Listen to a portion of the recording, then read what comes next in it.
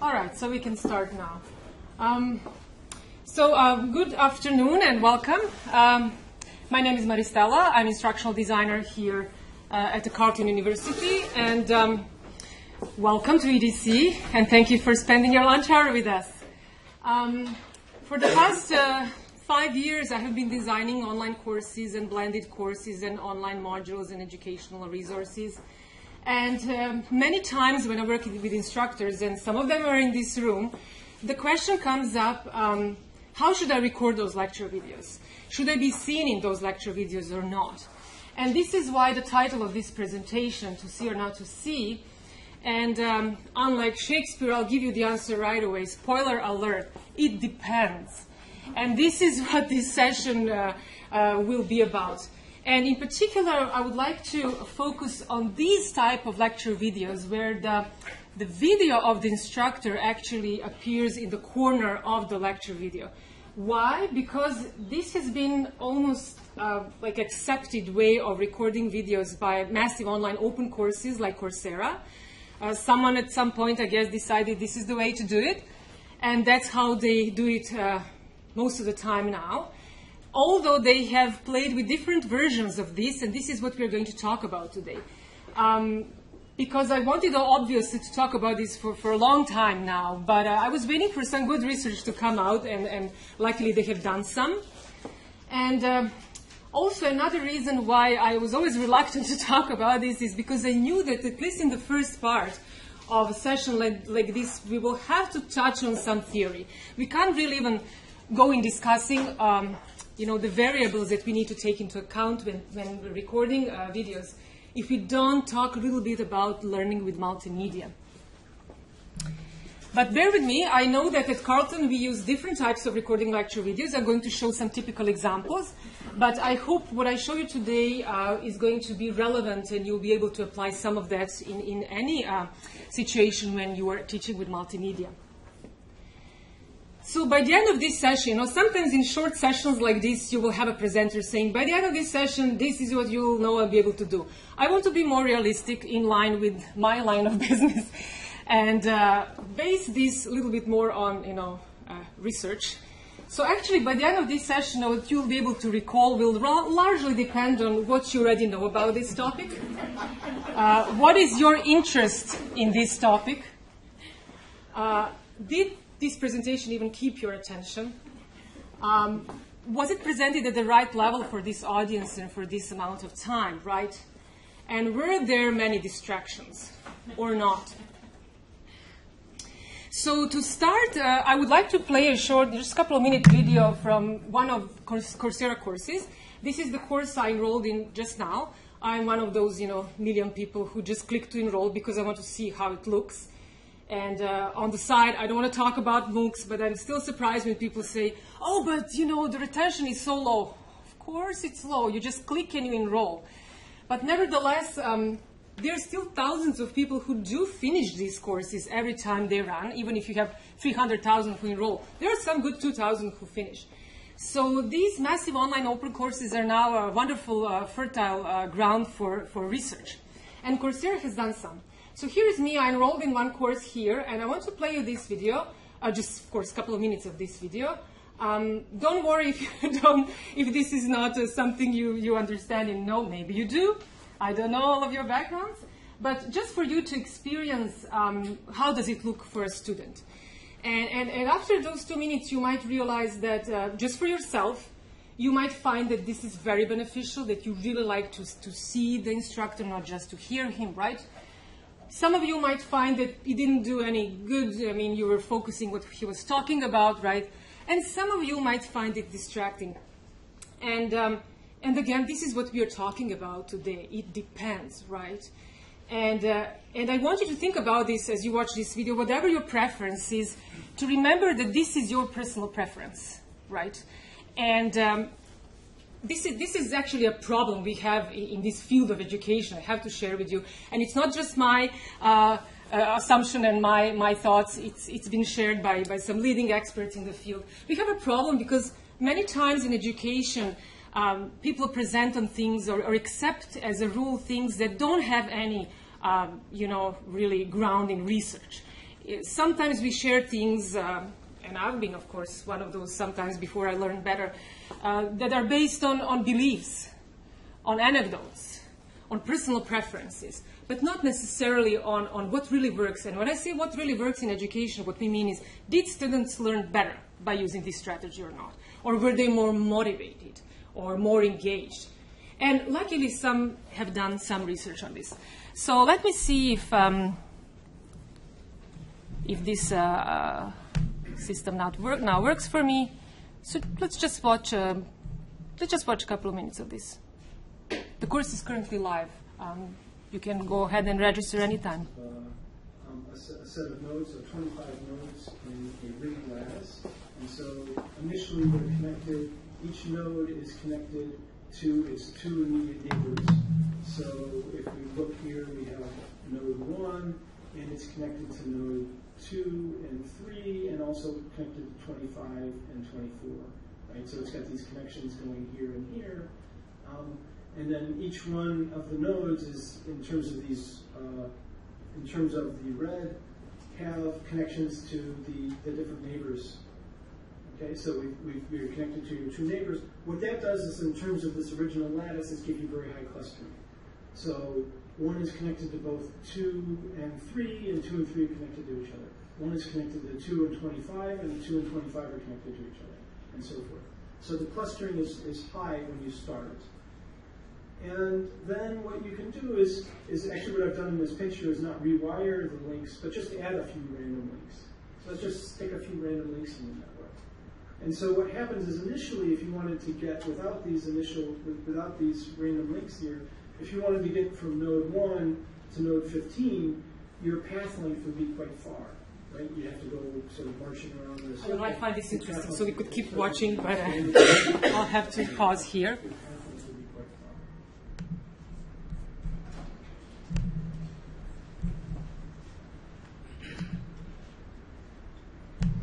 Okay, so now you had a chance to experience what we are going to talk about mainly today. But this is my agenda. I would like to talk a little bit at the beginning about instructional design relevant principles that are based on cognitive theory of multimedia learning. I'm going to show you some examples of uh, Carleton lecture videos, how we do things here. And then I would like to share with you some research uh, results from some studies done by Stanford and other universities. And I hope I will, um, at the end, be able to provide you with some suggestions on what to consider next time when you're deciding on um, how to record your lecture videos. So let's start above. Let's go back a little bit, right? How have we traditionally transferred information? How did we traditionally teach? It was always, for a long, long time, based on verbal communication, right? We would uh, write those poems that rhyme, and we were able to, you know, transfer that information to the next generation. And then even when we started using books, first codex, and then later, um, um, yes, um, printed press in 15th century, we started using books more and more for teaching and learning, right? But again, it was verbal communication in a textual format. And of course, at some point, we started using um, graphics as well. We can go back to, you know, books from 18th, 19th century that use graphics with text. But uh, in the 20th century, apart from graphics, and this is where the elephant comes from, I've been asked, you know, for someone else, why elephant? We started using graphics and video uh, in education. And if you're one of those students like me, you're probably very happy when you see the instructor rolling, teacher rolling this into your classroom. And I have to say, I experienced this, experienced this as a teacher myself, teaching here in, in schools in Ottawa. Students loved it. We loved video. Why? I'm sure there are several reasons, right? First, it's going to be a different class. You're going to, you know, the break the, the, the usual teacher in front of you. And then it's going to be dark, so no one is going to ask you to take notes. But oftentimes they were fun. I remember playing for grade 8 uh, Bill Nye, the science guy. Those videos were fun and sometimes more fun than what was happening in class. So there is a place for video in education. We, we like to see them. But um, how? Uh, today, of course, any CULearn page in your course can contain now everything, all multimedia in one page. Uh, we, we use images, and then we use videos, and then we use text. They can all be, as you know, if you're teaching through CULearn, um, existing on the same page. And then maybe, some, maybe also, um, oh, it doesn't exist here. but I wanted to show maybe also the video of the instructor in the corner. So the question, of course, came up uh, a long time ago, not, not uh, these years. How do we learn with uh, a combination of text and graphics? Can, can images, pictures help us learn? The short answer is yes, and I'm not going to go into this research. This would require much longer than uh, this short presentation. But yes, I mean, in general, pictures can help us learn a lot if they're used proper way, in certain ways. And there are ways to use pictures that's not uh, beneficial to learning as well. But to go into this topic, I, like I said, I need to at least touch on Richard Mayer's um, and cognitive theory of multimedia learning, which is largely based on John Sweller's um, cognitive load theory and Allan Paivio's um, dual coding theory. We have to at least, I admit, at the very surface level, touch on them because, again, we can't talk about this topic if we don't, if we're not on the same page about this. Um, even back in the 19th century, William James, famous uh, psychologist, told us about this attentional spotlight because all the time, even now in this room, there are a lot of visual and audio stimuli that you're exposed to. Maybe your phone is now telling you that there is new message coming up. Maybe you want to tend to that. Maybe you're looking at me. Maybe you're looking at the slides. Maybe you're looking at uh, Patrick and Bob. And, um, and then audio. You hear um, audio coming from the hallway, from the, from the outside. There is some construction happening. There is me talking. So the first thing that needs to happen is you first have to decide which of these information to attend to. And now thinking about your students and what we are presenting them with, we have to make sure that their attention is as much as possible on the stimuli that we would like them to attend to. So if I present this, uh, Richard Mayers, actually, he presented this, this theory in a very um, simple format. Um, first, the information coming mainly through your audio and through your visual channels. And this uh, sensory memory, it's, it's, very short, it's literally a few seconds at which point you have to decide on, okay, what am I going to do with this? The information comes into our working memory. I know I'm explaining this at a very, very superficial level. And then we have to make, we have to combine these two, right? Information coming through our visual channel, information coming through our audio channel. How does it combine? And can we organize it somehow so that it makes sense? And can we also integrate it with the prior knowledge, with some pre-existing schemas we already have? So this is this three-step process, the three-step, uh, three assumptions that we have. The dual coding assumption, the limited capacity assumption, because this is the most important thing. Our working memory has a very limited capacity. Different research says uh, different things, but usually five or seven plus minus two or three pieces of information we can hold in our working memory at the same time. Unless we quickly make sense out of it, you know, if you're remembering phone number, trying to sing it or whatever, it's going to be lost in a few minutes. So this is, in a nutshell, cognitive theory or multimedia learning based on um, cognitive load theory. Again, in a nutshell, when we're talking about cognitive load, we're talking about mental effort that we need to um, uh, use or, or, apply in our working memory. So, in terms of instructional design, we usually talk about three types of load. So, we're now talking about the information that our students have to import and digest for some meaningful learning to happen. The intrinsic load is the load of the content itself. It has its own complexity, right? So it's not the same if I, as a math teacher, teach students addition, and if I'm teaching them differential equations or triple integrals. The material itself has its own complexity, the number of elements, the interconnection. I can't usually change it as, as a teacher or even instructional designer, but I can do things to help it. For example, some pre-teaching where I teach students first about um, the, the, different concepts, the different words that we will be using uh, in this presentation so, or lecture, so they, they can all follow. Then we have something we call germane load. This is everything else we add around that content that's supposed to help students learn. This is where we're talking about adding images, underscoring, highlighting, circling, anything, adding some audio that's actually very related to what we are teaching. So this is what we call germane load, and this is what we can control and we do in instructional design. And then there is extraneous load. And it's everything else that requires cognitive processing and it's not really supporting learning. uh, example of this would be, you know, if you use slides that have very busy templates, so there are colors and, you know, some images around there that are, you know, driving students' attention.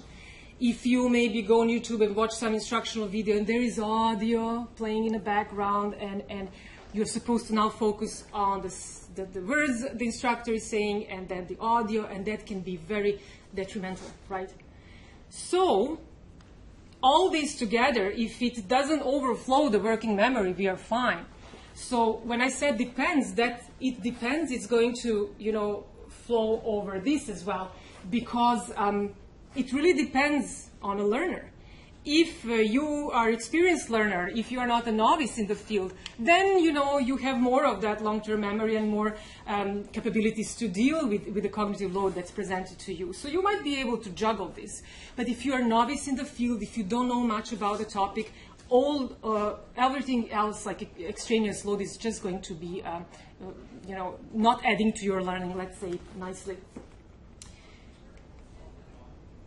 So this is obviously the example of an extraneous uh, load, and we sometimes call it um, seductive detail. But it's actually violence, violence of something that in multimedia learning we call coherence principle. Um, this picture has nothing to do with that, right?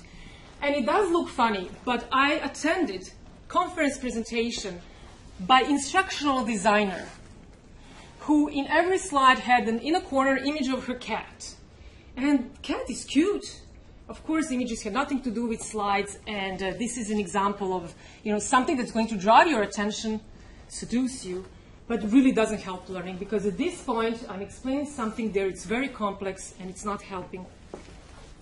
I want to show a different example just to complicate things a little. Um, I'm teaching students about squares. What is a square as a geometrical shape? And I either say this or they read this. And this is all true. It's, it's not, we can't say it's extraneous, but I'm teaching about something that should be presented visually. And, and students, if you just read this and they have nothing to look at, um, this, is, um, this is a problem. You might get uh, something like this in your class. Um, and then, and I'm sure all of you have been there and you say, okay, this didn't work. Okay, let's try again. Maybe if I do this, and this is the, the, the spatial uh, co coherence that I was talking about. If you're talking about a square and showing an image of a square, show it at the same page. If this square was on another page, if students have to flip the book, this is all lost. So now you see how things are getting actually complicated, as you know when you teach, and I know we have a lot of instructors here. What media should I use when teaching this particular topic, this particular subject? It, it is not simple, right? And it might depend from lecture to lecture, from part of the lecture to part of the lecture.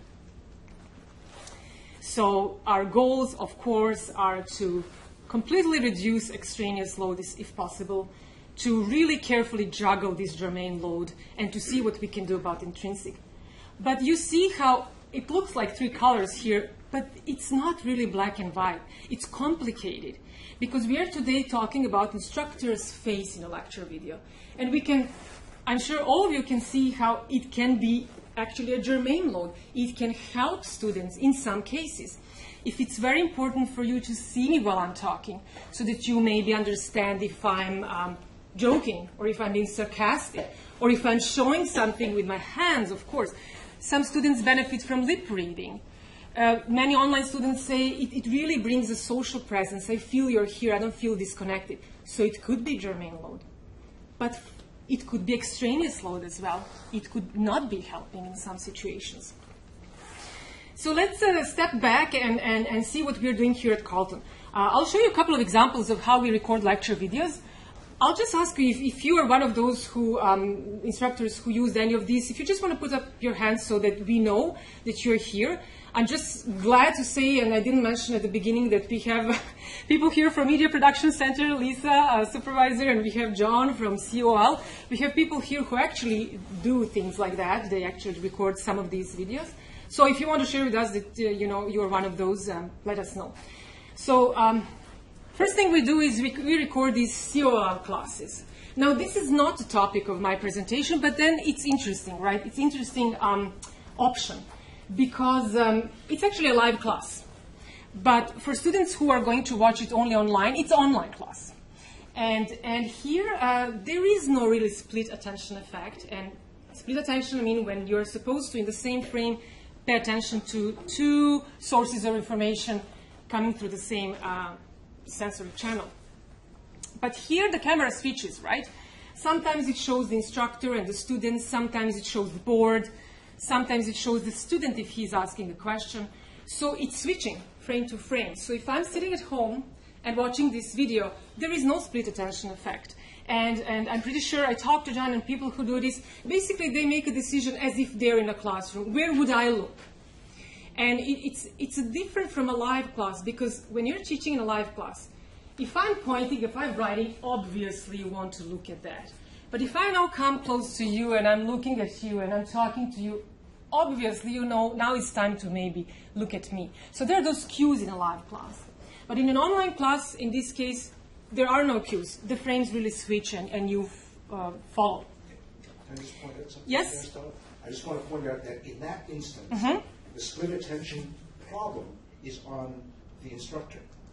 Because the instructor, Kim in this case, is trying to attend to two different audiences. Yes. One at the end of the camera and the other one in the classroom. Exactly, Bruce, and this is extremely challenging. I always tell instructors I, I, I would find it extremely challenging because all the time you have to be aware, and some of those are now uh, live streamed. So you have to be aware that some students are, you know, there. And I know actually Kim Hellemans, I work with her often, she, she actually looks into the camera and says, hello. She addresses them directly. But knowing that you have two audiences uh, at the same time, that's not, that's not an easy task at all.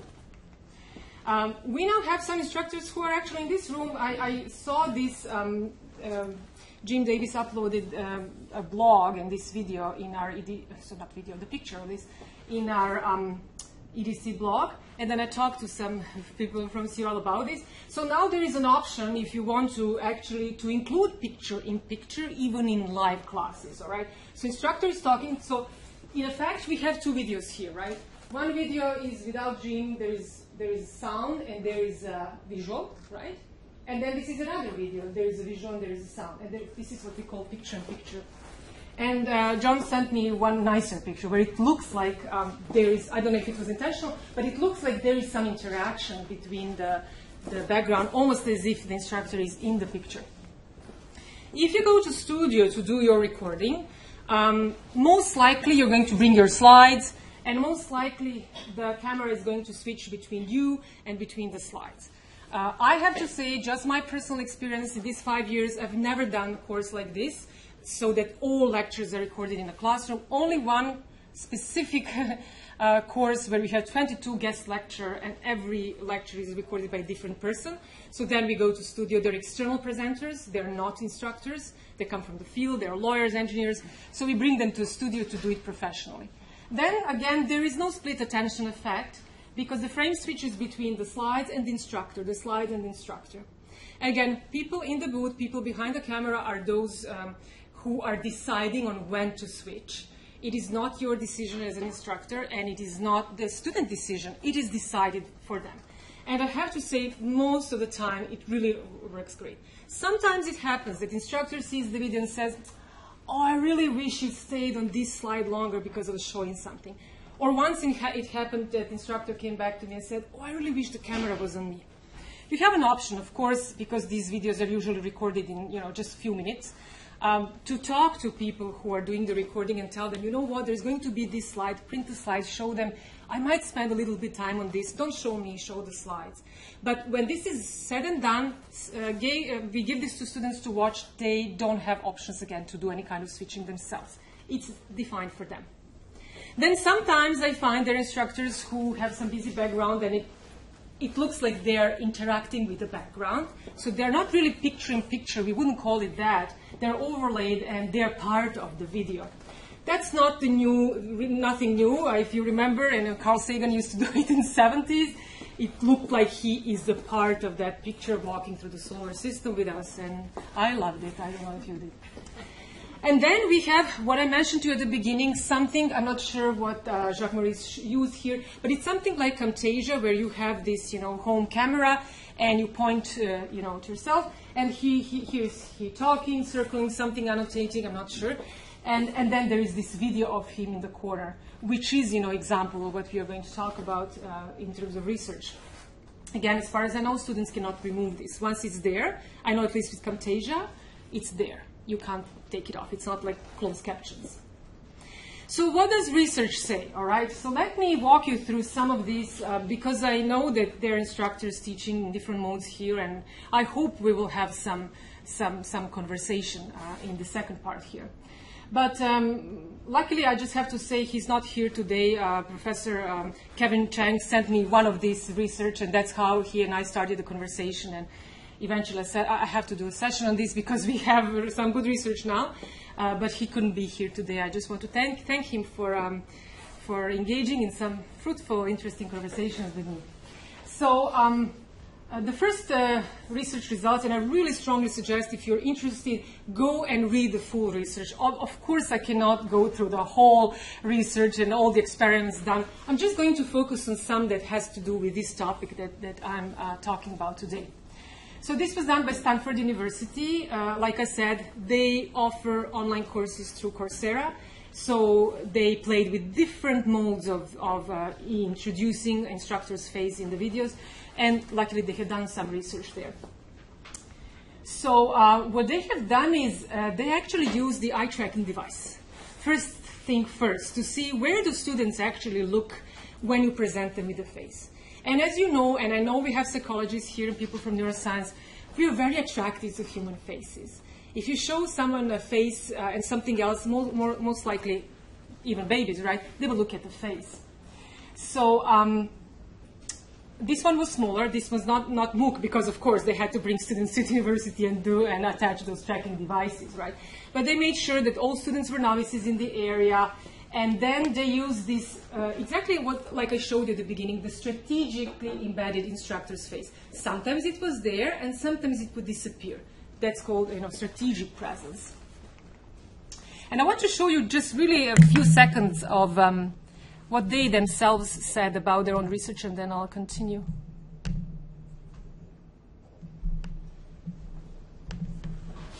The amount of online lecture videos is rapidly increasing. Often, a small video of the instructor's face is overlaid on lecture slides. But what effect does this face have on information retention, visual attention, and affect? Through eye tracking and recall tests, we found that participants preferred face, but recallability was not affected. We suggest that instructors weigh the costs and benefits including the face in their online lecture. I just wanted you to hear them, so it's not just uh, me. Um,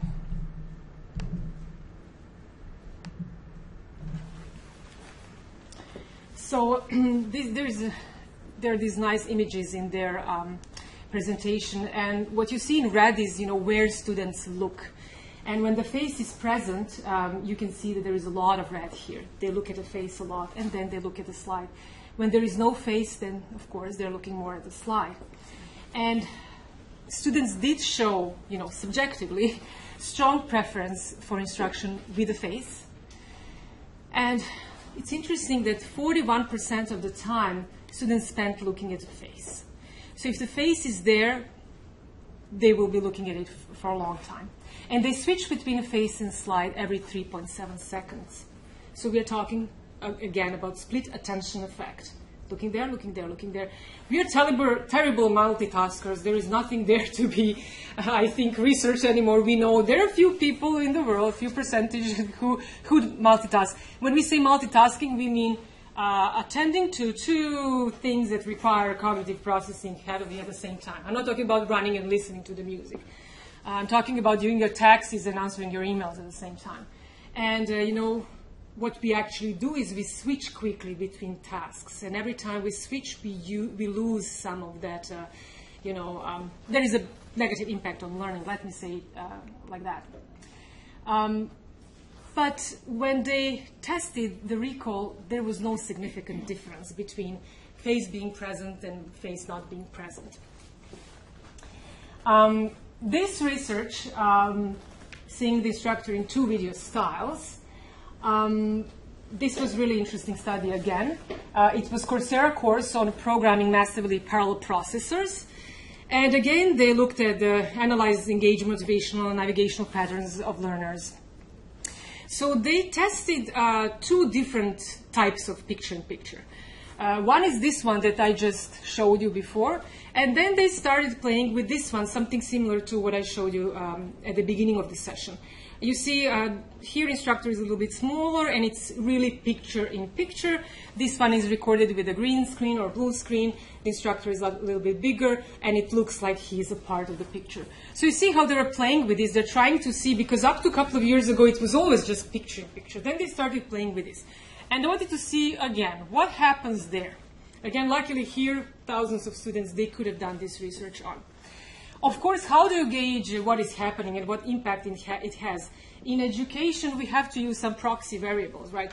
So they were looking at things like uh, what was the, the amount of time they spent watching, did they join discussion forums more often, were they more active when they joined the forum, certificate earner proportion, of was there a higher number of students who actually finished the course compared to others? Here we are talking about motivation. And then they, they also examine coverage. What is the fraction of content and activities that the, the person engaged in. Um, so um, learners showed strong preference for the overlay mode compared to picture-in-picture. Um, and that decision they actually made right there in the first week. So if you give students two options, they will, like you saw something this morning, they will very early into the course decide what they actually like, and most of them will stick with it they did watch longer in overlay mode. This is an example that Kevin sent me. Obviously, I'm not taking course in Chinese, uh, but a kind of like unfortunate example of overlay mode where instructor is actually covering the content. But it looks uh, kind of like a regular live class where I'm writing and I'm covering the board. But this is something uh, just to be uh, cautious about. And then this big study by Stanford where all this started. This is the first one that uh, Kevin and I discussed by um, Stanford University. They wanted to see, okay, let's give students an option and see what would they choose if they can choose. Because in others, there was no option, right? So what they did was, the course was on sociology. Uh, they gave students uh, an option in the first week or so to watch lectures in different mode. Uh, without instructor at all, and with instructor in the corner. And they let students decide what they're going to do. All right. Uh, this was a course in which every week there were about six videos. Each video is about 8 to 20 minutes long. And they had weekly um, activities, including the final um, multiple choice exam. So, first, what they found in the first part of their research is that 35% of students actually decided to watch without a face that was their conscious decision. Uh, more than a half, about 57%, decided to watch with a face, and 8% decided to switch.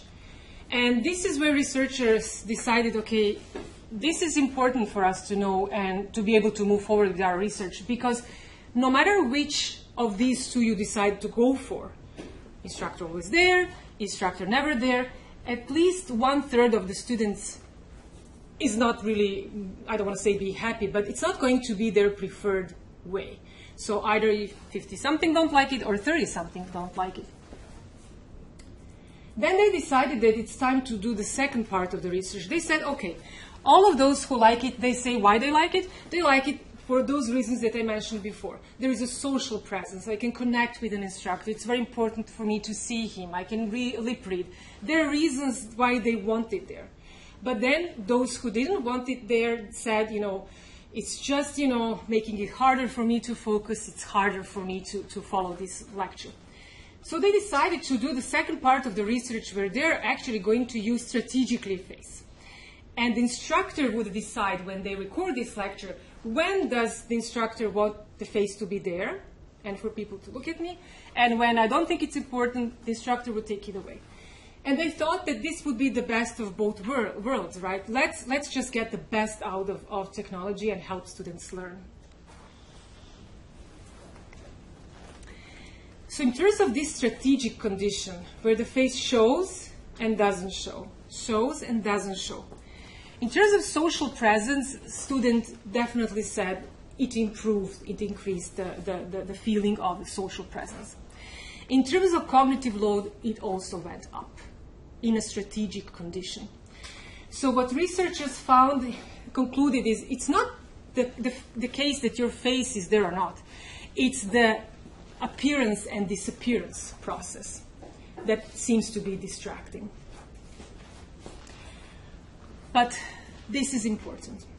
Learning outcomes, grades, motivation to engage with the material, attrition, no significant difference at the end with this strategic presence compared to constant presence. What they concluded, not me, is that substantial number of learners opted for lectures without talking head, just for us to know that it could be the case, or they switched. That there are definitely benefits of nonverbal cues, but that it induces extraneous cognitive load. And that in this strategic uh, situation, the salience of instructors' face increased. So once you're there, I'm even more looking at you. But no difference in learning outcomes. Yes. Uh, in the one where they allowed people to choose, were there also no differences in grades? Yes. They didn't really see any effect. The effect was subjective. This is what I like, and this is what I don't like. Uh, it's like I don't want to go into topic of learning styles again, but some like to study in a busy, you know, Starbucks. Some like to study at home. It's a personal preference. Will this align with your better grades than others? The research doesn't confirm that. Um, and not even more engagement. I mean, we talk about motivation to engage with activities, but they didn't see that there is any difference in engagement or motivation. Um, the implication that um, these researchers came up with is that different styles, you know, I said it depends, different styles of video lectures might benefit from different dynamics for the presentation of instructor's face. And what you have to gauge is what are the relative contributions of providing social cues? How important it is for your particular course, for your particular topic. And that more research should be done on these adaptive or learner, learner controlled interfaces in multimedia. Yes, Jim? Why do, why do the papers and you say we should be, like decide when to use it or not if it never makes a difference? Can you repeat the Yeah, beginning? uh, the paper said, Yes. and I think you're saying that we should think about whether it needs it or not. Mm-hmm. But the research says it never makes a difference, so why, why should we even bother Because time it- thinking about it? Because it depends. Because it's not as plain as even what I showed here. It's mu- much more complex than that. There is more to this research if you read about this. Like I said, for example, depends on the level of learners. It's not going to show, this is one case when you do research in education. This is for this cohort, for this level of the course. But what research also shows is for novices, might be more distracting. For more experienced learners, not that much. They can handle it. It really depends. It depends on what you're teaching if my background is in math, is electrical engineering. So when someone was solving problems or, or doing something really complex on the board, I don't need to see his or her face. I really didn't benefit from this. What I benefited from is what is happening here. But when I was studying other things, when I switched to education, we were, we were talking about other things, other subjects. There are definitely cases where it's so important for me to be able to, you know, almost like make eye contact with you and, and look at you and see with your face what you're telling me. Is so that, it is that depends. your is that your opinion or is that just the research? No, it's actually what research says. It Okay. depends. It really depends. Basically, I'll show you in a moment, but it depends on your expected level of cognitive load that, that your teaching for that particular day is going to induce. I just want to show at the end, again, I'm mentioning engineering. Yeah, engineers jumped in and uh, in IEEE conference, they did, uh, they actually did, they, they used electroencephalography, right? To, to check, because previously when I told you about cognitive load, it was student subjective. They said, oh, it was harder for me. But now they actually plugged in, you know, the machinery. and I don't know exactly how, I don't want to go there, but they can see the level. They, they check the emotional states and somehow through that uh, check the level of cognitive load. In the same case, you know, in strategic uh, presence. And basically, the results were confirmed even through that. In the mixed condition, uh, the cognitive load increased So when the face is showing and not showing. But in terms of learning outcomes, again, they didn't see any difference either. So this is what researchers are saying. When high cognitive load is expected, maybe at least don't use the mixed format. Don't add that level of, uh, of uh, interruption to students' attention. So these would be the takeaways that, that, that I hope um, that, at least based on my experience, based on what I know, and, and like I said, my, my work and my experience. Uh, when making these decisions, it is not easy. It is definitely not an easy solution. Uh, but I would ask you to maybe try to not make a decision on how you're going to record your lecture video based on what you saw other instructors doing. Because of all of these things we talked about, it worked for that instructor, it worked for that situation, might not work in your. Consider how much what you're doing is similar to that. Don't make decisions just based on what you prefer as a learner. Oh, I took this course and I really liked it. Um, because again, where are you in that uh, you know, spectrum of, of experience and knowledge, and where would your first year students be? And don't make decisions just because something is possible. Oh, I have Camtasia, oh, there is a camera, let me just turn it on because it's possible. Or we have a wonderful studio and we can do all of these things. Um, yes, we can. But let's talk about this. Let's find the, some kind of middle solution, right, that would, that would work for, for everyone. So I would ask you to consider the following, of course, based on everything like I said today. Uh, think about your learner's previous knowledge. Who are your students, right? Again, what is the expected cognitive load for this particular thing I'm teaching today or in this course?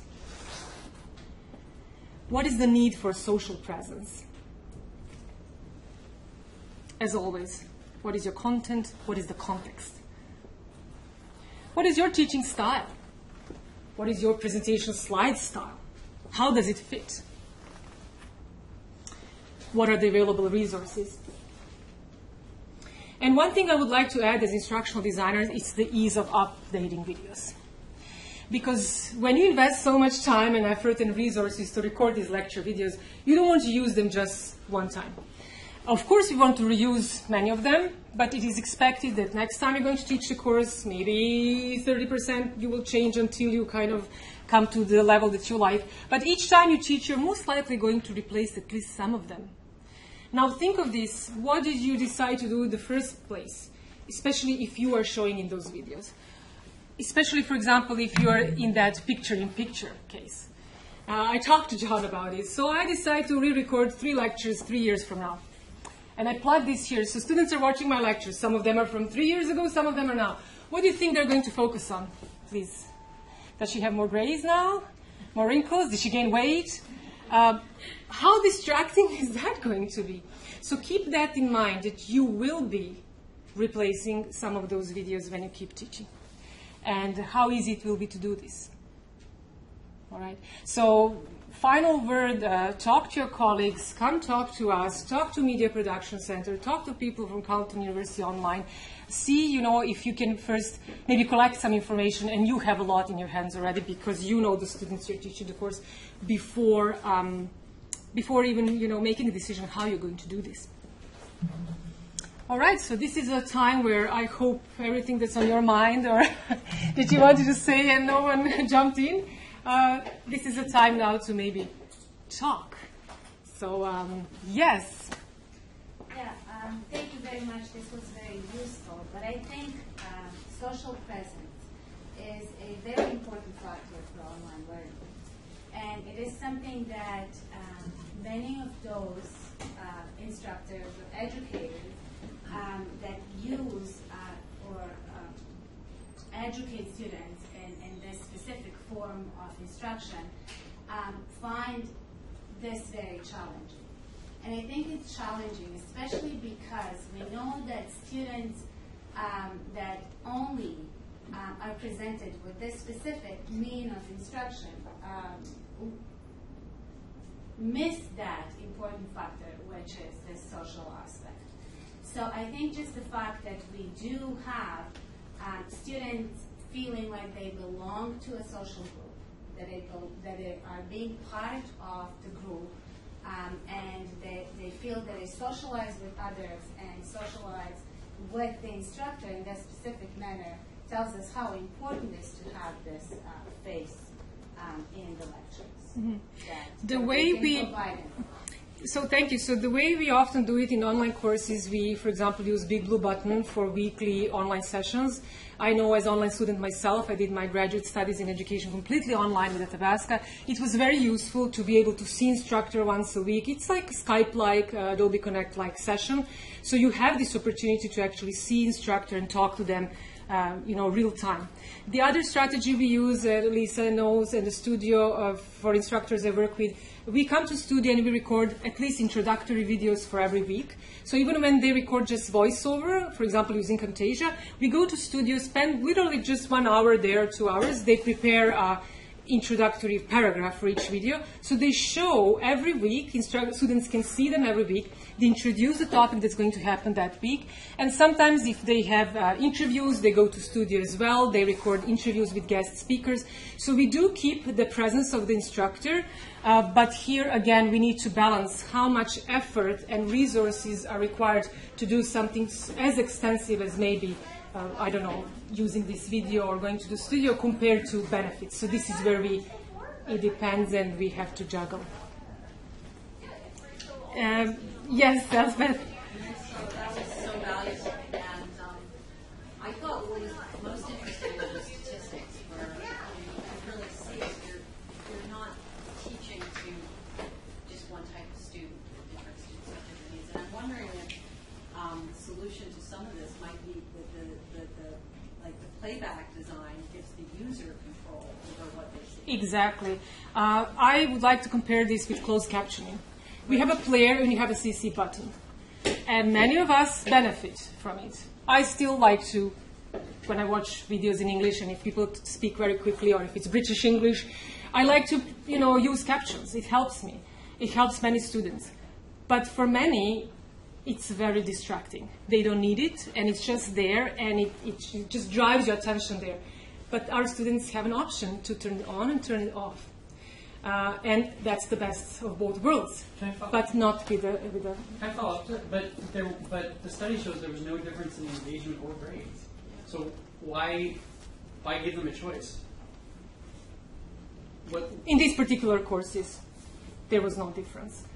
But giving them a choice, I would give them a choice same as closed captions. People benefit, like lip reading, for example. Many people like to see the face so they can read, especially if the speaker is not Eng- a uh, native English speaker. It really helps to have either captions or being able to read. okay, so it helps probably a small portion of the group such that it didn't affect the, the It helps some, differences. but all, those who liked it said they really want it.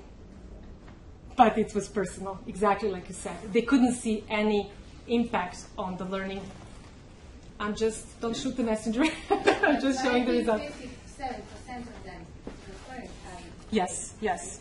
So Yes. it is their preference, even though it doesn't uh, affect their performance. But it's similar to, you know, the research shows for closed captions that 80% of people who use closed captions are not hard of hearing. Uh, they still use it because for them it's beneficial. You had instructor and you had. Yes, Bruce. Yes. I think you had a question. I, I just wanted to point out the, just about the, uh, the closed captioning thing. I saw an industry report just this week that showed that a large proportion of students actually you did use the closed captioning, Mm-hmm. which I found was very interesting, and many of them not. Uh, Yeah. uh, English as a second language students. It was just it, a lot of them seemed to find to get value out of, out Yes. of that, at least from time to time. Maybe not for every lecture, maybe not for every module, but sometimes when the you know when the when the, the content Yeah. is particularly complicated, or maybe they were watching a lecture on a bus, but there was other noise and stuff. Exactly. and many other things. But you, you pointed something, again, going back to what Jim said, was so interesting and so complicated. Because we know the research says it does uh, cause split attention effect. It will. So it will drive your attention, but it's going to take it away. I know when I'm watching a movie reading, reading caption, I miss what's happening back there. Oh, she just blinked. I didn't see it. So we like it and it, we're dreaming to it. But would it be better for those who don't need it, maybe for that option to not be there? The answer is not easy. Nothing in education is easy. You do one research in one field and it doesn't apply to others. It's very difficult.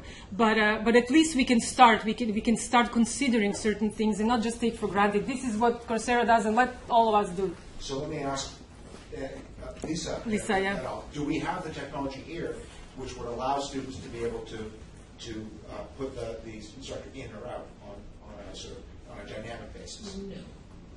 No, not yet. but we'll on that. Yeah.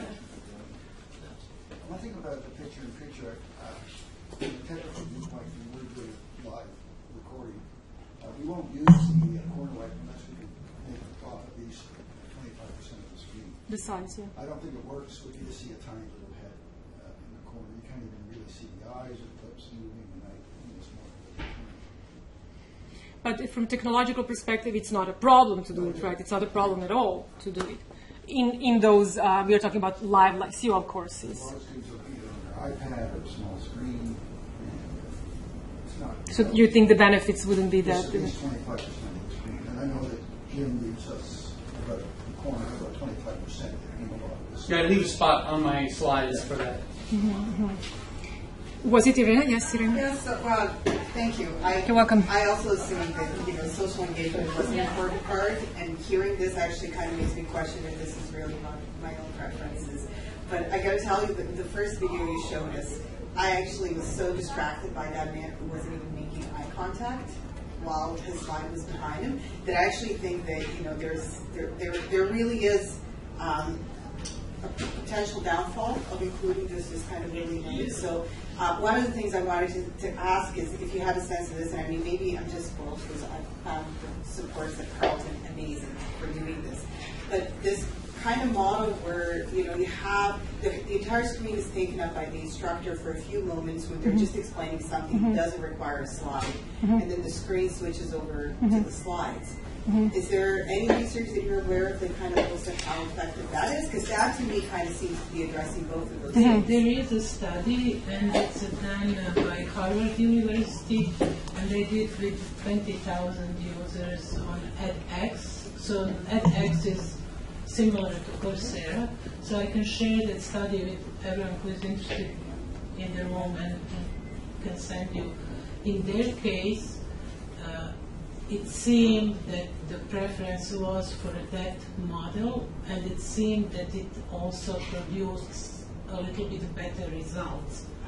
So, but, but in my opinion, whenever we are looking into results from MOOCs, it's a little bit different than results from our regular undergraduate classes because when you think about who, who is enrolling in MOOC, I'm enrolling, Maristela is enrolling, uh, many people who already have undergraduate or graduate degrees, so it's a kind of a little bit different group of people. But I, I can send you that study for sure. Thank you.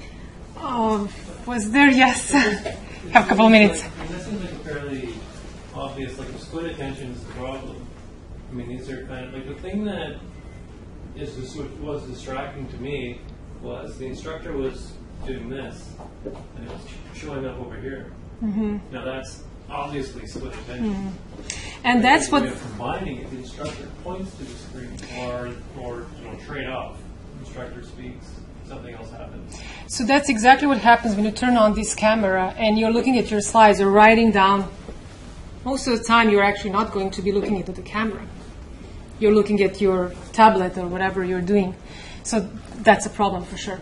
But on the other hand, then maybe it's easier to ignore him then than if someone is really, you know, engaging in that corner, then you're even more attracted to that to that uh, corner. Again, it depends. It really depends. Um, that's what I would like to leave you with. There is no one size fits all. There is no simple answer to to be or not to be, or to see or not to see. It depends case by case. But uh, uh, I hope we had the conversation today, and um, thank you for coming. Come to EDC, and we'll continue the conversation. Thank you.